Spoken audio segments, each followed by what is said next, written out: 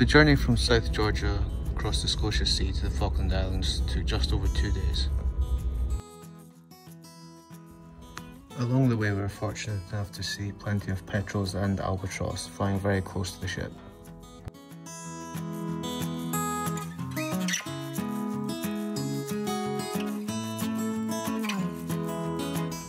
When photographing birds, there really is no substitute for patience. Although cameras with a zoom lens will be able to capture birds flying from some distance, it is much better to wait until they fly closer to you. You can use continuous shooting mode, but I don't find it as essential.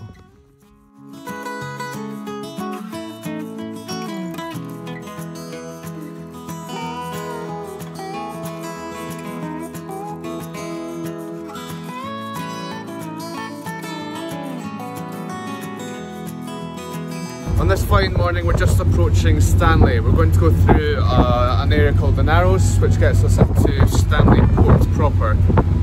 Um, we're going to explore all day in Stanley. Really looking forward to getting off the ship after another couple of sea days and uh, yeah,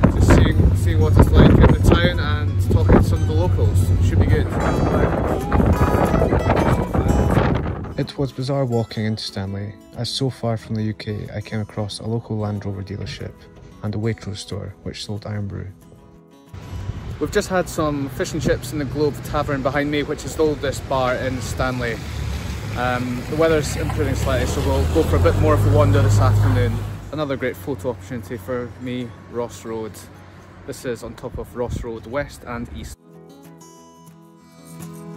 So the main tourist attractions in Stanley appear to be the museum, the cathedral, and over my shoulder, the post office where there's a load of people just sending postcards back home, myself included. It'll probably take about three weeks for it to arrive.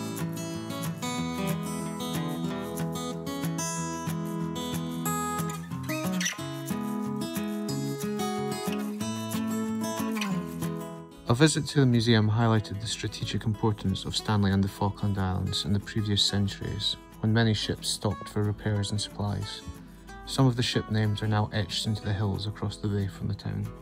So it's turned out to be a beautiful afternoon here in Stanley. We're just heading back to the ship now and we'll probably grab a coffee on the way back.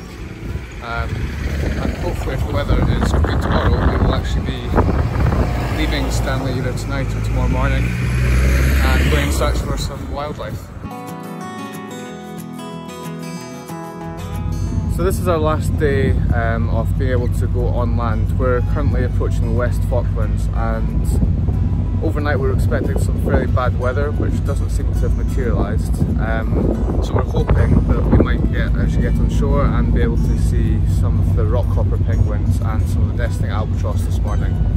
Um, the winds are still quite strong, 35 to 40 knots, so uh, we'll need to just work out once we get to our first landing site whether or not we can get off the ship with the Zodiacs. But as you can see in the background, beautiful day, irrespective of whether or not we get off the ship. Our penultimate stop of the cruise was to Saunders Island. The beaches on the island were beautiful and the landscape provided a habitat where penguin and sheep coexisted.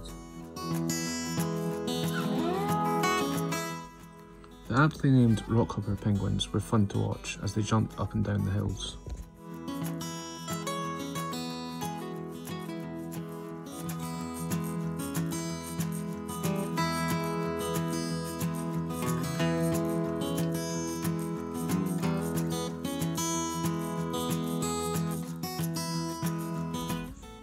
Albatross build their turret nests on the hills facing into the wind to make takeoff easier.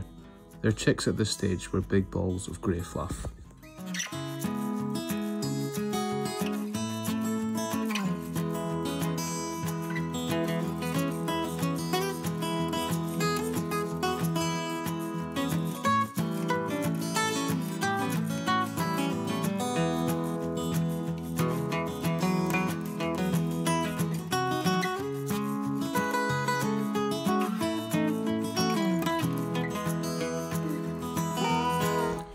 Our final stop in the Falkland Islands and of the cruise was to West Point Island.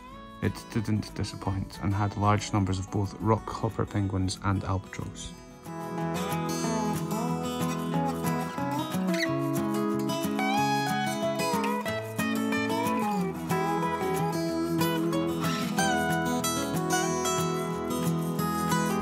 So this is our last and my favourite stop on our Falkland Islands tour.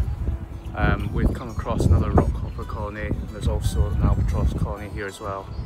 It's really great watching the albatross just jumping off a cliff and flying straight into the wind.